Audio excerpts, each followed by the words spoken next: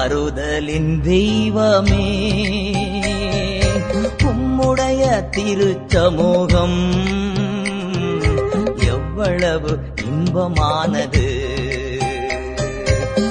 ஆறுதலின் தெய்வமே உம்முடைய திருச்சமூகம். எவ்வளவு இன்பமானது.